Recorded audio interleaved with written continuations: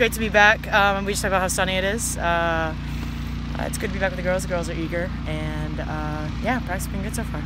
How is this preseason sort of different in terms of what you guys have to accomplish, knowing that players like you are going to be coming in and out?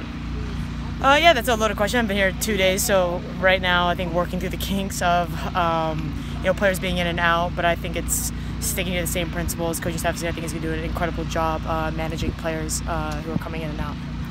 Um, in terms of sort of the mindset you have to have this year, how do you balance, um, you know, an NWSL season and at the same time trying to make that World Cup roster and preparing for that? Um, yeah, I think I think you had the keyword there with balance. Um, I think it's either balancing your recovery. Uh, coming in from national team having the FIFA dates and then into Portland. Um, but I think huge. You know, there's going to be different uh, play, uh, playing styles coming in and out uh, with respective teams, and you know, really coming together and having that Portland type of uh, feel or style of play. I think is going to be the most important. Getting everyone on the same page.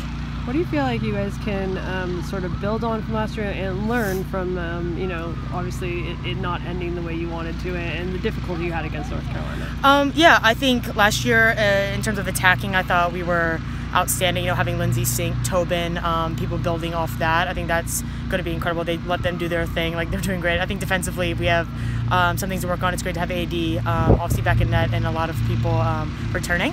Um, but I think just basically what everyone's going to be saying, building off what we have with the terms of the players that we have with personnel moving forward. And how, how are you? Obviously, you're right on the cusp of making that World Cup team uh, right now, and it would be your first World Cup. What what would that mean to you to be on that roster? Uh, honestly, uh, I try not to think about think about it much. Um, I really try to take it day by day in terms of the trainings here, getting ready for the next FIFA dates, and hopefully putting on my best soccer. Um, in terms of being selected for the World Cup. What do you think you've been able to do well? Maybe, maybe it is focusing on day at a time, but in terms of being able to get back in with the national team in the last year and start playing, you know, a consistent role.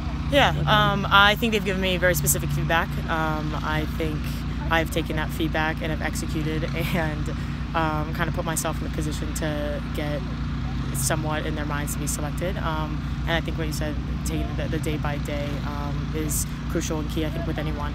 But I think taking their feedback and kind of putting it into something.